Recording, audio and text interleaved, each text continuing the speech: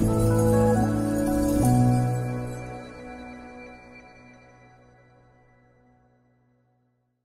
to the Data Friday. My name is Michael Olschimke. I'm the CEO of Scalefree. We have this session here every Friday um, to allow you, the audience, to ask questions about Data 2.0, um, but also uh, cloud computing, any data-driven applications um, that you can imagine, MVP stuff. That's all good. Um, if you have questions, you can send them essentially in via um, a form that I show you after today's session. You can also raise the question live. Um, uh, just uh, yeah, hit the uh, use the chat here in the client or use the Q&A function in the client or just raise your hand and I give you voice. Um, if uh, we would receive multiple questions, I would cherry pick them, uh, them essentially. And if there would be no questions at all, and we're getting closer to this point, we would talk about the cluster here. Uh, my little hobby project in the in the Olschimke basement here. But today we received a question. Um, let me just show it to you. Um, okay, one second. So this is about the load end date and how, and especially how to get rid of them, because in DataVault 2.0.1, um, essentially we don't use a load end date anymore. At least a a physical end date anymore that we need to update essentially all the time, right? And we always talk about two different options, and they have essentially a um, they they are aware of the lead and lag option uh, with the window function. We talk about that one, but uh, that's not fast enough for them because that depends really on the um, uh, implementation of your window functions. If that's fast enough for your for your uh, purposes, then it's good. Otherwise, uh, it's a problem essentially. But there's two options how we can get rid of the load end date, and let's talk about those. The first option is the one that we typically recommend. That's essentially to use the lead or lag function to calculate the load end date, and that's a, that's essentially a um, there should be a load yeah, okay. So this this functionality here, you would you would add a alias here essentially that would rename this to a load end date. So we essentially use the, lead function to calculate the load end date based on the load date of the next delta, essentially. That's the idea. And this functionality here we implement in the view on top of your materialized satellite, on, your satellite, satellite in the raw data vault, um, where you essentially store your data the satellite, the, the table satellite, the table structure of your satellite in vault looks exactly as in a book, but you get rid of the load end date. You just remove it. And then you put a view on top where you calculate the load end date like this one uh, virtually, essentially. And what I would do is we would also add all the attributes from the underlying table into the view. So the view structure looks exactly like the, um, the structure as in the book. The satellite with the, with the hash key, the load date, the load end date, and everything else but the load end is just calculated. The problem is this approach works if your lead or lag function is fast enough. If this one is not performing, then you got a problem. And performing here means um, we typically use the load end date only in when loading the data model, the raw data vault. We don't use it for querying the system because when you query the, the raw data vault or the business vault for that matter, you use a pit table anyway sooner or later. And the pit table joins the database on the load date and the hash key only. So load end date is only required in the end for loading the raw data vault. So the question is, the lead and lag function, is it fast enough for your loading purposes? That's a real question.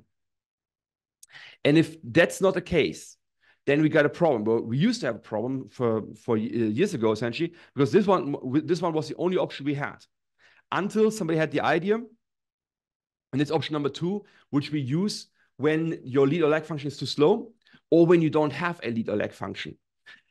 In this case, um, you can use a pit table. Again, remember, we use the, uh, the load end date only for loading the data vault, not for querying it out. Well, and here now you have a pit table. And the idea is um, the first column here is the snapshot date. The snapshot date it's typically some days. Uh, at, in this case, at seven o'clock in the morning. That's when you create your when you deliver your information essentially. And then those two columns here and those two columns refer to a satellite delta. So there's two deltas, two satellites um, uh, in, play here involved. And for every snapshot date, for every business key which you don't see here, for every hash key which you don't see here, you need to know which is the most current delta in every of those satellites. And that's what a pit table will tell you.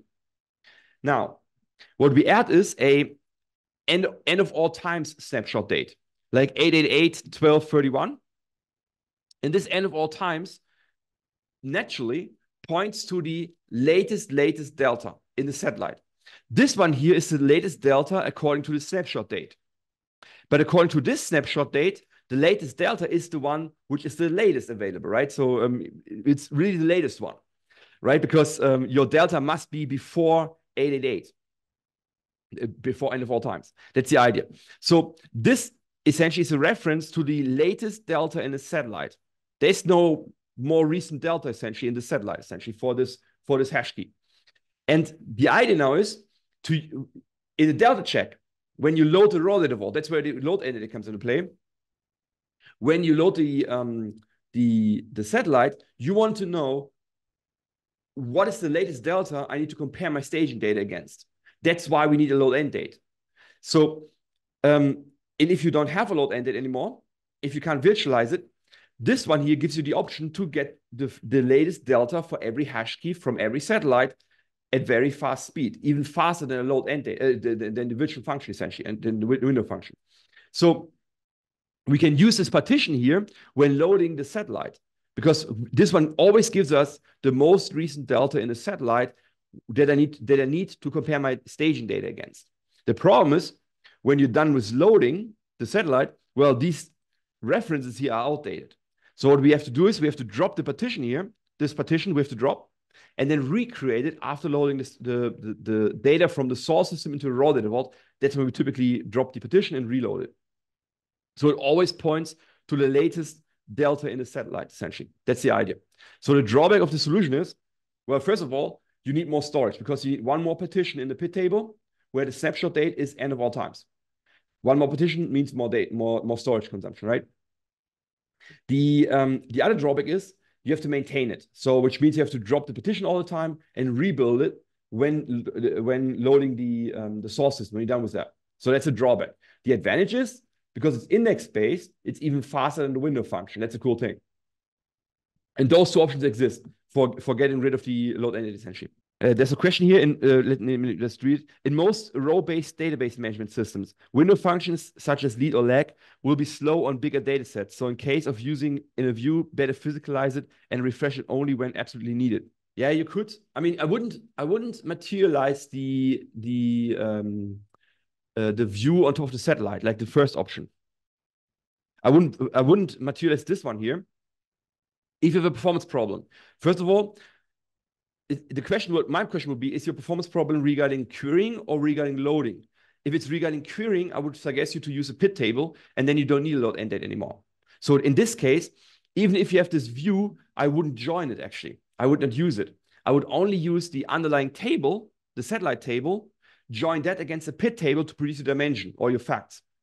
Because then you're not using this window function essentially, right? You don't need that.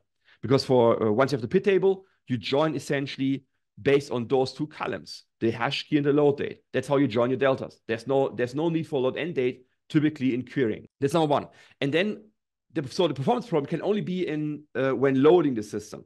And when loading the system, when you have a performance problem with your lead or lag function, um, first, of, first of all, I would double check that uh, if the query uh, is, is correctly set up. That's, that's one thing. But if that's the case, then go for the pit table. That's the other. I mean, you can't beat for those two scenarios here the pit table will win because um, th that's based on an index. You just create an index on those columns on the um, snapshot date hash key combination. Yeah, hash key from the parent and snapshot date. That's your alternate key in the pit table anyway, or should be. And then you create indexes on the um, hash key and load date from the satellite. And you can't beat the performance. That's the point. But with the drawback of maintaining it. That's a drawback, essentially, right? And that's why we try to avoid that solution if the window function is fast enough. That's the point. That's the that's a full comment. That's a full code. Yeah, good catch. It's the um that's I just showed you the lead function here, but you're right, the coalesce was missing, and I'm replacing null values when there is no more recent delta than the one I'm looking at at the moment. I'm replacing the null value by the end of all times essentially for the open load end date. And um, what you should also recognize is uh, I'm creating a gap, right? So I'm uh, deducting a um, microsecond essentially or whatever. Second should be a microsecond.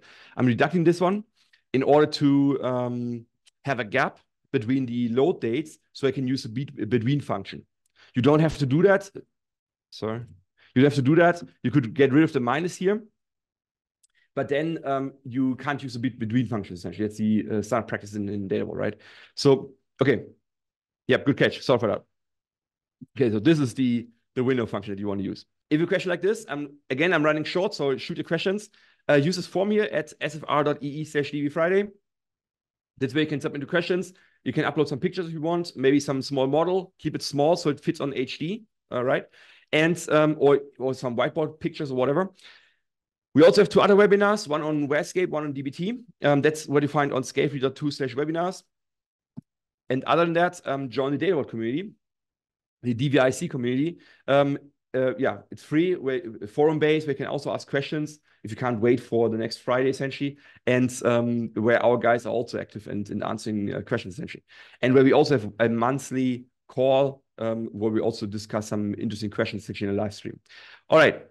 Thanks for joining. Um, yeah, I forgot to say Happy New Year, right, um, guys? Um, yeah, enjoy your weekend and see you hopefully next Friday. Next Friday will be better session. Sorry for that. And um, yeah, not not too bad mistake. okay, live session, guys. Thank you, guys. See you. Thanks for joining today. If you like to discuss this further, give us a call on, on the number below here, and we're happy to discuss this with you. See you next time. Have a nice weekend. Bye bye.